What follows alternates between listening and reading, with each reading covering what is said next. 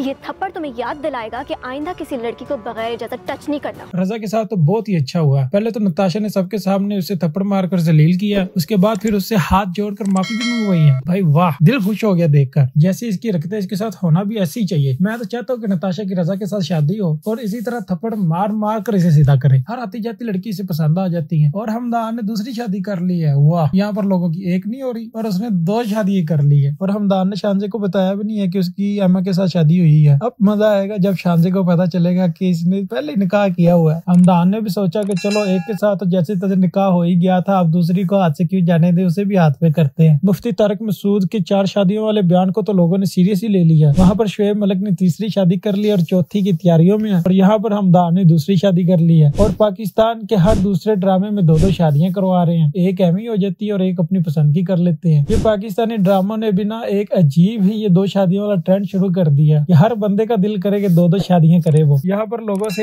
एक संभाली नहीं जा रही, दूसरी कहा से संभालेंगे? और उस्मान जो है वो एमा पे अलग ही हिटलर बना हुआ है। ऐना से शादी ना होने का बदला वो इससे ले रहा है। अब देखते हैं जब शानजे को हमदान की पहली शादी के बारे में पता चलेगा तो इसका क्या रिएक्शन होता है। और क्या उस्मान एमा के साथ सही होता है या नहीं? मजीद इस तरह की मज़ेदार वीडियोस देखने के लिए मेरा चैनल ज़रूर सब्सक्राइब करें।